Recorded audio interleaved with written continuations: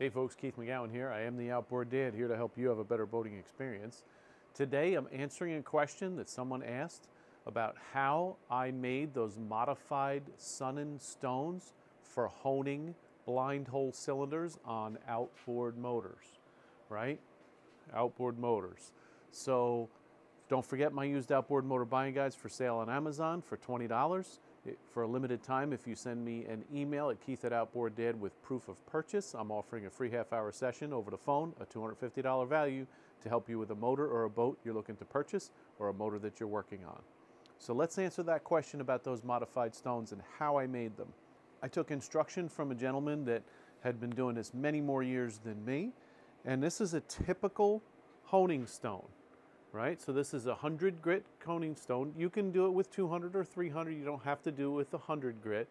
But as you see, we have a stone across the whole surface, and this rotates in the tool to shave off or hone the cylinder, and it can be used for boring as well. If you remember in my videos for the Evinrude Johnson rebuild that I'm doing, that one shows me doing it dry with the 100 grit because we remove a lot of material to get all the scratches out and then I go in with the finer stones when we get close. So this is the, the stone that I modified. Simply all I did was I chipped off, I actually took a little cut-off wheel and I ground it right through here so I had it left over and then I ground another spot and then another spot and then I chipped those off. I did come in with my cut-off wheel at an angle to chip that off ended up chipping the whole thing off, right? All of those pieces. So I had these one, two, three, four pieces. The one that was left, I took some JB Weld and put it on there and welded that on there. And then I cut a piece of wood. This was just a piece of teak wood. Teak wood is kind of hard, uh, dense wood. You could use pine if you want. I just kind of figured the pine wood or the uh, teak wood would wear a little slower and I'm not worried about wearing fast. I want to have even wear. And then I just put a straight edge against this until I got it even and straight. So remember the idea behind this. When we have a blind hole cylinder, we can't run our stones all the way through and come out the other side. Let me show you. So if I have a cylinder like this, and I'm running my stones in there as they're rotating, right? And I can pass through that cylinder, and then I can pass up top evenly. Now my stone and my cylinder are going to wear evenly. If I'm going in and out and it's a blind hole, I have to stop and I keep going in and out and in and out. What's going to happen is, is this part of the stone down here is going to wear faster than this part. Makes sense, right? So now we're going to end up with a little angle and we're going to end up with a cylinder that has a V in it. And we don't want to have that tapered cylinder. We want a straight cylinder. So what I do is I hone first with the 100 grit stones in and out, and then I'll flip them over in the tool and run it in reverse so that I'm not, so I'm kind of wearing my stones a little more even until I get all those scratches and nastiness out of it.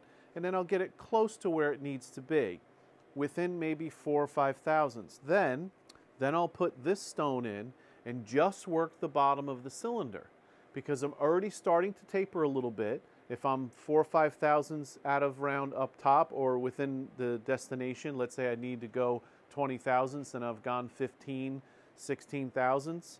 At the bottom, I'm probably going to be at 18 thousandths, so I need to wear more at the bottom. So now I'm going to go in with, the, with this stone and get the bottom cut closer to where I need to be within that four thousandths, four and a half thousandths clearance that we're looking for on this particular motor, depending on what you're working on. And then I get it close. Then I'm going to come back with these stones. Now when I'm working that cylinder in and out and I'm, I have to stop, the bottom is already cut a little slightly larger. So now I'm going to even out and match the top of the cylinder with the bottom of the cylinder. Again, I'm doing this carefully, measuring each time. Watch my videos with Johnson Evinrude, uh, 130 horse looper engine rebuild. I think I'm 21 videos into that right now. It's almost complete. As you see, we've almost got it assembled and back together. We just got to do some carburetors and some finishing touching for the touches for the electrical, and then we'll be ready to fire that motor up so you can watch it happen in upcoming videos. So I hope that answers your question. If you have any other questions, at the end, once we get that cylinder, probably within one thousandths of an inch of where we need to be, and we're straight top to bottom, then I'm going to go ahead, I'm actually doing a little larger in the bottom with my modified stone. So if I'm at four thousandths up here, I'm probably at five thousandths at the bottom of it.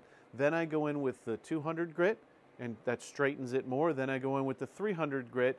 Now I've got a nice crosshatch in there. I've brought the, the top of the cylinder to meet the bottom of the cylinder, and now I have a nice straight cylinder.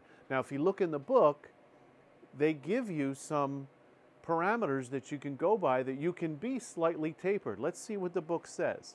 So 90 degree V4 engines, we can be out of round four thousandths of an inch. Hmm, that's a lot. I made this one straight. You can tell by the videos that you see. I'm maybe within a quarter of a thousandths from top to bottom. I don't want to be four thousandths out. That's its out of round. When I look at the taper, it says two thousandths. So out of round, they give you a little more leeway than they do with taper.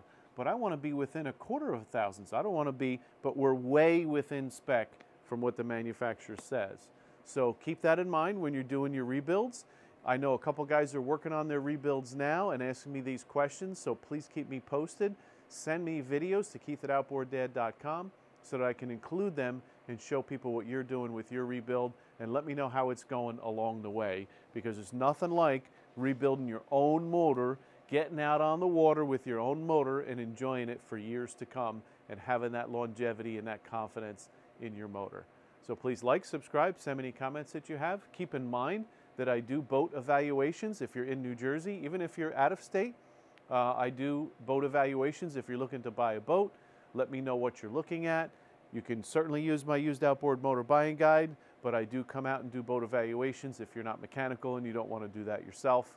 And you can reach out to me at keith at outboarddad.com. Also, seminars. I'm starting a seminar series.